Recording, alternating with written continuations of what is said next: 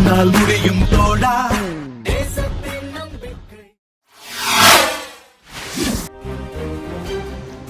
தாராபுரம் வடதாரை பகுதியில் corona virus அச்சுறுத்தல் காரணமாக நகருக்குள் இருசக்கர மற்றும் நான்கு சக்கர வாகனங்களில் வருபவர்களை கை கால்களை கழுவிவிட்டு வரச் செய்த பொதுமக்கள். திருப்பூர் மாவட்டம் தாராபுரத்தில் உள்ள வடதரை பகுதியில் சுமார் ஆயிரத்திற்கும் மேற்பட்ட குடும்பங்கள் வசித்து வருகின்றனர். இந்நிலையில் வடதாரை நுழைவு வாயிலில் டிவைடர் வைத்து சாலைகளை மூடி வைத்தனர். அந்த டிவைடர்களில் கிருமி நாசினியான வேப்பிலையை தொங்கவிட்டு மஞ்சள் நீர் மற்றும் லைசால் வைத்துள்ளனர்.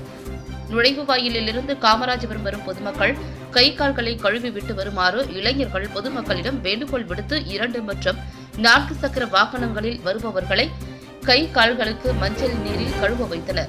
நுழைவு வாயிலில் வடதரை பகுதிக்கு வரும் பொதுமக்கள் கை மற்றும் கால்களை கழுவி விட்டு வர வேண்டும் என பதாகைகள் வைத்துள்ளனர்.